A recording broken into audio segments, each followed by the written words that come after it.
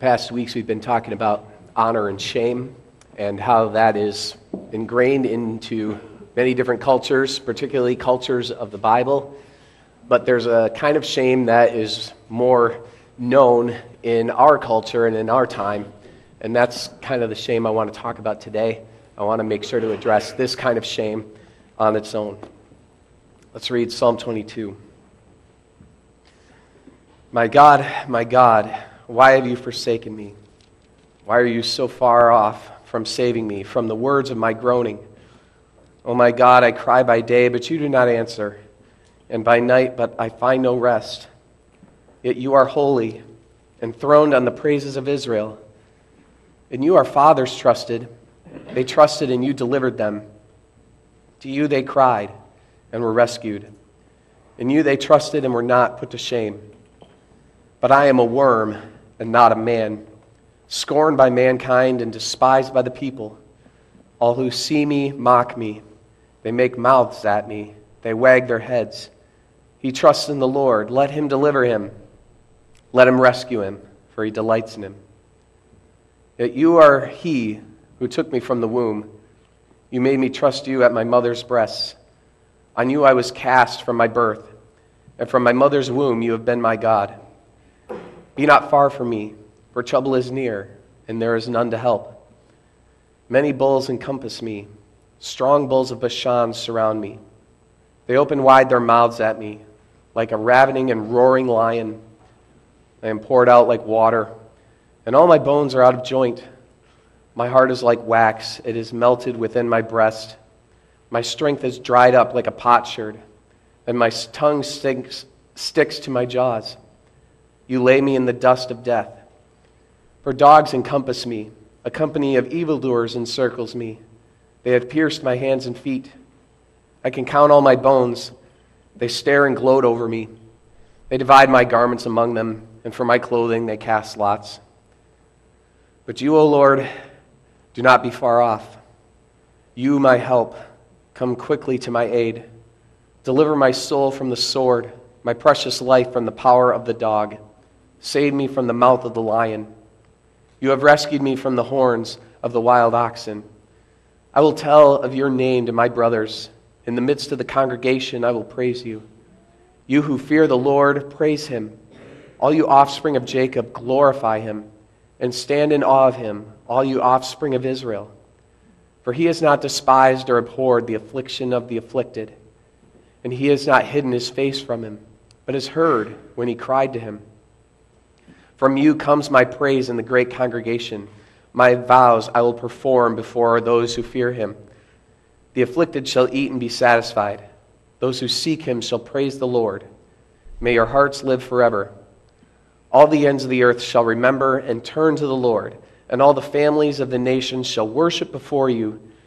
For kingship belongs to the Lord, and he rules over the nations. All the prosperous of the earth shall eat and worship. Before him shall bow all who go down to the dust, even the one who could not keep himself alive. Posterity shall serve him. It shall be told of the Lord to the coming generation. They shall come and proclaim his righteousness to a people yet unborn, that he has done it.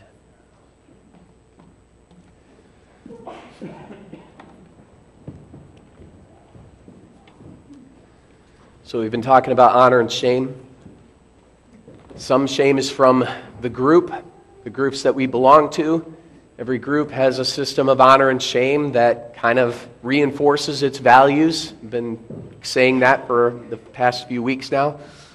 And when you act against the ideals or the values of the group, uh, whether that's your family or a job that you work at, your friends or, or your country, there's going to be some shame involved. That might be just getting a sour glance, it might be getting booed, it might be getting thrown in jail, but somehow that is going to be reinforced. So some shame is from the group. Some shame is healthy, too. Now, some shame that comes from the group is unmerited, but sometimes we're acting out of line and it's good to be brought back into line. There are some people who deserve to be booed. There are some people who deserve to get, get thrown in jail, and so forth. And if a sour glance makes us, you know, rethink what we're doing, then maybe that's a good thing. So some shame is, is deserved. But some shame is pathological. Pathological meaning like a sickness, something that's not working right. Now, we're not talking about shame that's feeling guilt for something that you did, but for who you are. Now, not all of you suffer from this, but I know that some of you do. And so this sermon is especially for you today. This kind of shame is a gnawing self doubt that drives people toward perfectionism or withdrawal or timidity or maybe combativeness. It's something, when something goes badly, somehow it's your fault. Or if you have the thought that if, if everybody knew something that you had done in the past, then they would never love you again. When you receive a nice gift or a compliment, you kind of even feel a little bit guilty, like you don't deserve it. Pathological shame is where you say, I am a worm and not a man. Like it says in the psalm that we read today, where you feel less than human and you deserve less than what other people deserve. Shame is a strong sense of being uniquely and hopelessly different and less than other human beings, according to one book that I read. Lewis Smedes has a really great book on shame. It's called Shame and Grace. And uh, he has a bunch of different statements that people who have shame will think to themselves or feel within themselves. I sometimes feel as if I am a fake. I feel that if people who admire me really knew me, they might have contempt for me. I feel inadequate. I seldom feel as if I am up to what is expected of me. When I look inside myself, I don't feel any joy at what I am. I feel inferior to the really good people that I know. God must be disgusted with me. I cannot measure up to what I ought to be. I will never be acceptable. If, these, if you've had those thoughts or you often have those thoughts, then you probably have pathological shame. This kind of shame, unlike other kinds, is completely useless. It's useless shame. It doesn't help you, it doesn't help anybody else it just keeps you down and pulls you down. And like shame that is helpful and beneficial, that maybe sets us back on a good course, that shame is temporary. This shame is unending, it's permanent. It's kind of always there. It's kind of just ready to pull you down if you get a little bit confident in yourself. It, and it does it to no end. It's endless and purposeless. And it's a false shame. It's not based on reality. If you do something that's wrong and you feel ashamed about it, then that shame is based on truth. You feel a temporary shame and you change course, maybe make some apologies and reparations, perhaps, and then that shame goes away. That's normal shame. This kind of shame it doesn't matter how much you apologize, how much reparations you make, you always feel like you're a horrible person. Psalm 31:18 Let the lying lips be mute which speak insolently against the righteous in pride and contempt. All of this is based on lies. Stuff that is not true, but stuff that for those of you with pathological shame somehow still believe or accept. It says in the passage we read, I am a worm and not a man, scorned by mankind and despised by the people. All who see me mock me, they make mouths at me, they wag their heads. And they say, when it says they make mouths at me, that's kind of a, an idiom or an expression for a sneer Pathological shame is, is learned, it's reinforced by experiences that we have. It's learned from a bunch of different things and a combination of different things. Some places that we learn pathological shame from the world's false ideals. The world kind of has its own ideas about what is good, beautiful, worth our time, worth our money, and the world goes after those things. And if you don't measure up, or if you don't fit into that, you get left behind. You're supposed to have the best things. You're supposed to accomplish the best goals. You're supposed to win the best trophies. You're supposed to earn the best salary. And you're supposed to look the best, be the most beautiful, wear the best clothes, and so forth. These are the world's ideals. And you can learn shame from that. Not that you should be better, but that you are just simply less. You learn pathological shame from graceless religion. And this is something that we as Christians and we as churches, we always need to be paying attention to because we can very easily slip into this. Because as much as we want to reinforce good behavior, it's very easy to be reinforcing good behavior and getting that condescending, holier than thou, you're less of a person because you've made a mistake. We always have to be on guard for this. Graceless religion is faith that is based on rules and human traditions. It's not based on grace alone or Christ alone or God's word alone. It always leads to hypocrisy and it's about maintaining appearances rather than what is actually in the heart. And it creates an illusion that we are good Christians by just following rules. Let's always be on guard for that. Pathological shame is learned from being rejected. Being rejected by friends, being rejected maybe by family, being rejected by classmates. And not everybody who experiences rejection is going to have pathological shame. Some people see rejection as a challenge and they rise up to that challenge. But for people with pathological shame, those rejections will add up and you will never forget them and it will continually weigh you down even more. Pathological shame is learned from a harsh childhood.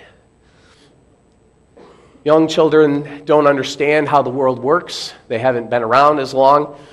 They internalize everything bad that happens to them. So, children who are abused often think the abuse is their fault, like it was because of something that they did wrong.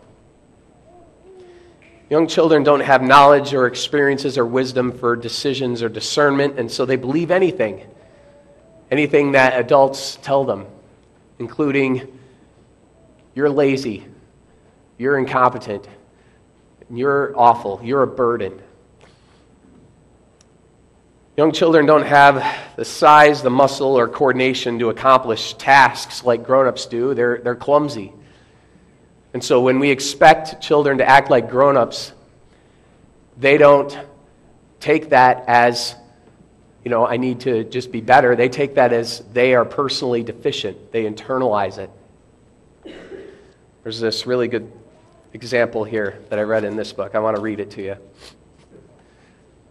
I was standing in line at a crowded public restroom engaged in one of my favorite hobbies, people watching when I observed a brief interaction between a mother and daughter. Mother looked harried and weary as she wrestled a huge purse in the one hand and a cigarette in the other while waiting for her child to emerge from a toilet stall. When the girl did, the beautiful, bright eyed daughter marched over to a row of sinks to wash her hands dutifully. On the way, she dropped the jacket she was carrying. Mother snatched it from the floor and shot off a disgusted look which missed its mark since her daughter was engrossed in enthusiastic hand washing. Water and soap suds splashed on the mirror, the sink, the floor, and child, while she scrubbed as if about to perform open heart surgery. Again, Mother released a nonverbal volley of disgust. Finally, the little beauty finished drying her hands and turned around with self satisfaction and delight from bursting from her face only to be assaulted by her mother's inescapable barrage of displeasure, disgust, and disappointment. Mother scolded, punched her child's shoulder and pointed to the water and suds, and then threw in carelessness with her jacket for good measure. She hit her target dead center this time. While the girl was being shoved out the door, her eyes seemed to bleed with sorrow and shame as she cast an apprehensive glance at her angry mother.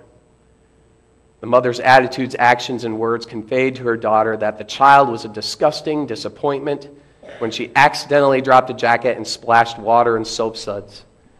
In reality, both behaviors are quite unremarkable for a child her age.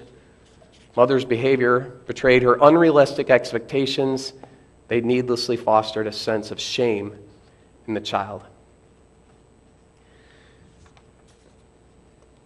So we can learn shame from our childhood, too. When we have unrealistic expectations placed on us and we are shamed for not meeting those expectations, we carry that shame. And we can learn shame from being used for another's personal gain. Whether that's a parent taking out a bad day at work in physical abuse or whether that's being used for another's sexual gratification, or whether that's even something like putting 20 years in at a company and working hard faithfully every day only to be just cast aside one day simply because they wanted a numbers on a chart to look a little better. Or maybe being bullied by somebody because they want to appear strong or they want to act out a narcissistic ego. These are all things that can teach us this pathological shame. Now, people respond to this, kind of shame in different ways. If you have pathological shame, it doesn't necessarily mean you respond to it the same way. Some people with pathological shame spend their entire lives chasing greatness, whether that's status or titles or money or fame or something like that. They might try to play the shame game even better and they will get super critical and have that holier than thou attitude. Or maybe they'll go from one abusive relationship to another.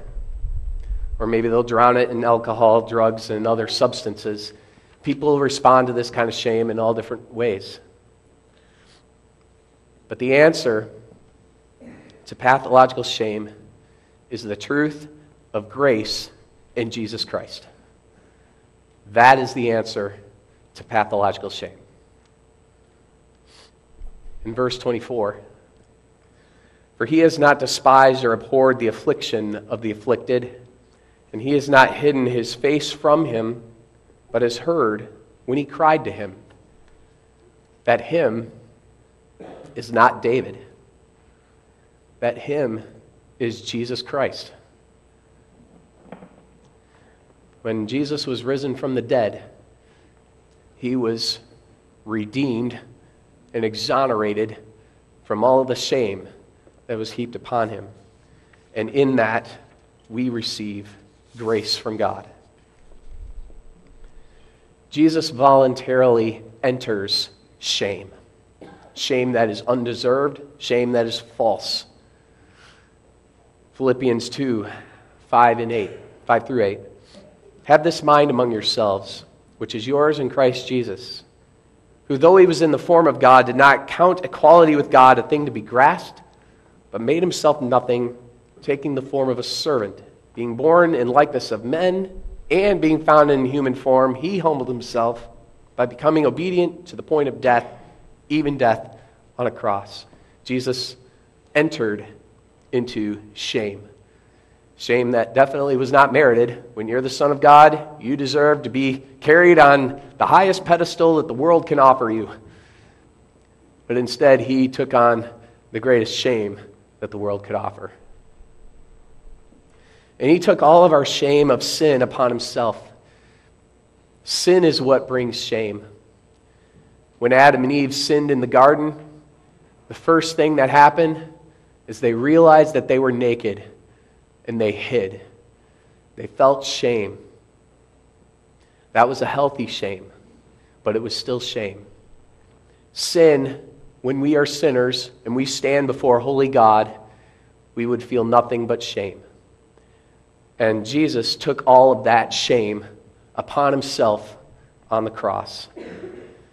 Whatever shame that we might legitimately have, Jesus himself took. So we do not need to have lingering shame. He took our shame. That was on him. We don't need to take it back. We don't need to shame ourselves. He's been shamed for us. He bore that permanent shame so that we wouldn't have to. Temporary shame that makes us change course or say that we're sorry, that's good. But that permanent shame, He bore that. We don't have to carry that. He shows that dignity comes not from people, but from God. This false pathological shame comes from other people telling us that we're no good, that we're less. True honor, though, comes from what God says about us, not what other people say about us. Other people don't know us, not like God does. What really counts is what God says. And Jesus demonstrates this. So when we shamed the Son of God, when he should have been at the highest pedestal, God honored him. Philippians 2 9 through 11. Therefore, God has highly exalted him and bestowed on him the name that is above every name, so that the name of Jesus every knee should bow in heaven and on earth and under the earth, and every tongue confess that Jesus Christ is Lord to the glory of God the Father. So, the one that we shamed so badly God vindicated and gave him glory. God knows who we really are. We look on the outward appearance, and when we saw Jesus, we saw somebody who wasn't going to meet our expectations, so we got rid of him. But God redeemed him. If you belong to Christ, if you believe in Jesus Christ, and you have that forgiveness of sins and you belong to Him, then you even now are seated at God's right hand. Even now. The way that Ephesians 2 words this is important. But God, being rich in mercy, because of the great love with which He loved us, even while we were dead in our trespasses, made us alive together with Christ.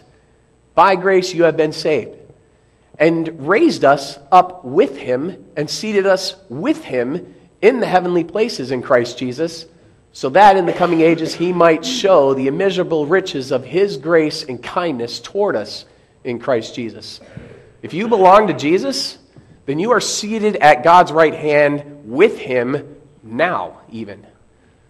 Not someday, now. And that's the greatest honor of all. Nobody can honor you more than this. Let's look at the screen. Let's answer this together. What good does it do you, however, to believe all of the things that are taught in the Apostles' Creed? In Christ, I am right with God and heir to life everlasting. In Christ, we are heir to everlasting life, and we stand perfectly clean before God. We don't have to be ashamed. Even, we don't have to be ashamed in front of the one who knows every last detail of our lives. That's pretty incredible. Some of us are afraid of what other people might find out about our past or what we really are on the inside. But God knows exactly what we've done throughout entire lives and knows exactly what's on the inside and He loves us, and we stand right with Him. Pathological shame, which I know some of you have and deal with, is healed by grace.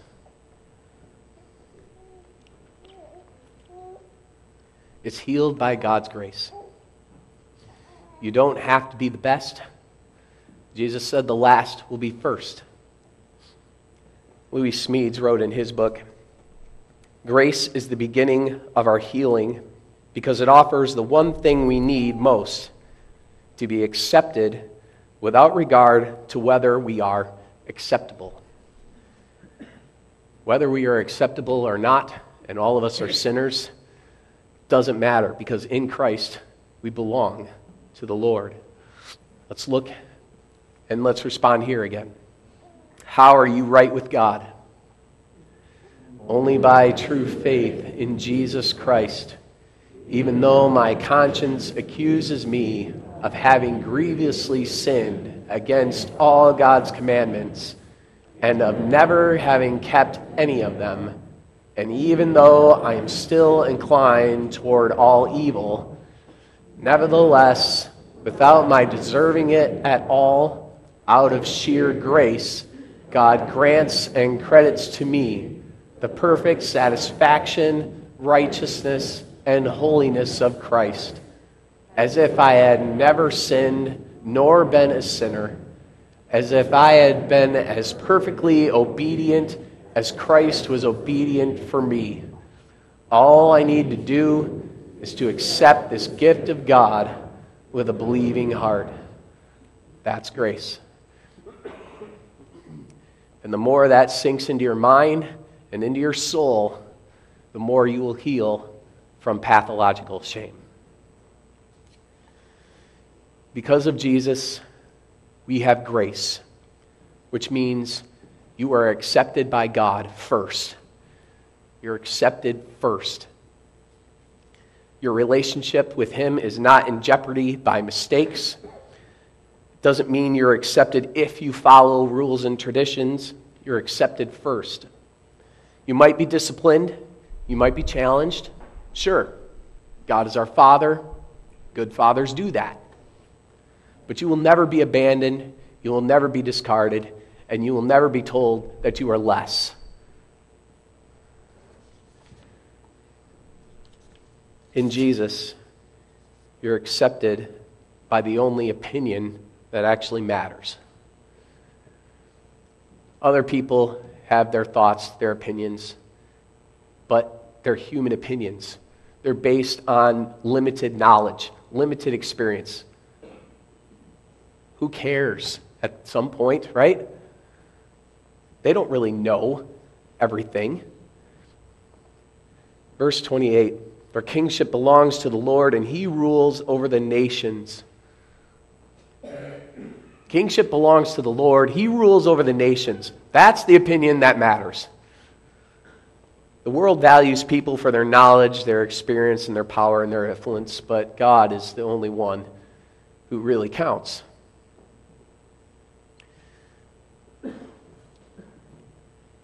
In Jesus, there is immunity to any false shame. If you can be rooted in Christ, and if you are rooted in Christ, then any false shame that people might heap on you, you can resist. Jesus said these astounding words here. He said, Do not resist the one who is evil. If anyone slaps you on the right cheek, turn to him the other also. When he said that, remember from a few weeks ago, your face is your seat and your head is the seat of honor. If somebody smacks you with the left hand, that is the unclean hand. If somebody takes what is unclean and puts it at your seat of honor, that is a grave insult. And Jesus says if somebody dishonors you that horribly, offer the other cheek. Why? because you have immunity to false shame. Nobody can shame you. Smedes says to experience grace is to, to recover our lost inner child. The heart of our inner child is trust. Shame cheats us of childhood, grace gives it back to us. The trusting child does not have a worry in the world about whether he is smart enough or handsome enough, or whether he has accomplished enough with his life, or been good enough to be acceptable to his parent. He trusts that the someone who holds him, warms him, feeds him, cradles him, and loves him will accept him again and always. Trust is the inner child we rediscover in an experience of grace. And when God is our Father, that is the experience of grace. In Jesus, we join others who received the same grace and have no other boast other than Jesus Christ and Him crucified. So we join together with other people who have been saved the same way that we have. Same group that reminds us that we are immune to false shame. The same people who can build us up in what truly counts. In verse 22, it says, I will tell of your name to my brothers. In the midst of the congregation, I will praise you. And verse 25, from you comes my praise in the great congregation. We gather together to celebrate who God is and what Jesus has done for us. And in that fellowship, we build each other up so that we can be healed and we can resist the pathological shame that the world gives to us. If you noticed as we read, the psalm that started to be so low and so discouraging and so awful ends by in giving praise to God. In Christ, when you experience pathological shame and you experience His healing and that growth, it ends in praise. Grace gives us unrestrained focus on praising God. When you have that healing grace of the Lord and you focuses you just on who the Lord is, not on what other people think or your deficiencies, it focuses you on you on what matters most. Self shaming takes a lot of self focus, but the grace of God points us to what it matters most and keeps us focused on that. The more you believe and live the truth of the honor of God's grace, the more that pathological shame will fade away. Let's bow our heads and let's pray together. Lord our God in heaven, it's an amazing gift that you've given to us in Jesus Christ. That we can have the grace that comes from Him, that we can stand before you perfect and flawless and never less. So, Lord, please sink that into our minds and into our souls so that we can resist pathological shame and that we can help heal those who have pathological shame. In Jesus' name we pray. Amen.